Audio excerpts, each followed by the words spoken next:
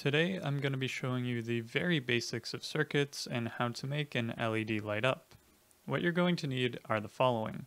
A 6 volt battery, an LED and a resistor whose value we will calculate shortly. I also have a breadboard and some cables to connect other parts of the circuit.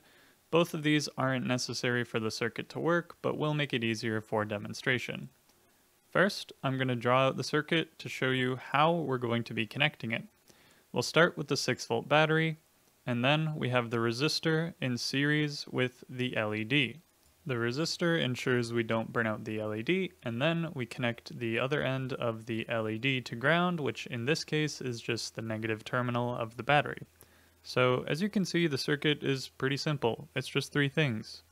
The next important thing to find out is what is the maximum amount of current that the LED can handle so that we can calculate what our resistor value should be. After a quick Google search, you can see that the maximum amount of current on the basic LED is 20 milliamps.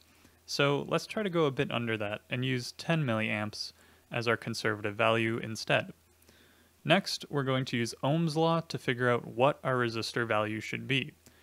The classical equation is V equals IR, voltage equals current times resistance and rearranging for resistance, we get R equals V over I. Then we just plug in our values, 6 volts over 10 milliamps, but since we're using SI units, we have to convert milliamps to amps, and in order to do that, you divide our 10 milliamps by 1000, and you end up with 0.01 amps. The answer here is pretty simple. You just have to shift the decimal places up top and you get 600 ohms. So ideally we would use 600 ohms. But since I don't have one, I'm going to be using 1000 ohms instead, which is even more conservative since it has a higher resistance value, so it's sure to be safe. If you look closely at any resistor, you will notice that they have these color-coded rings. In my case, the colors on the resistor are brown, black, brown, and gold. In order to figure out what these mean, you can reference a resistor chart online to figure it out. So following each ring in my resistor, first up we have brown 1, black 0, brown 10, which is the multiplier, and gold, which is the tolerance of plus or minus 5%. This tolerance means that each one of these resistors should be within plus or minus 5 ohms of 100 ohms. You can check your resistors using a multimeter to get the exact value, but since I'm just interested in a simple circuit, I won't bother. Next comes the fun part, putting together the circuit. If you have a breadboard, your first step should be to connect the positive and negative terminals of the battery along the red and blue strips respectively. This will power the entire strip.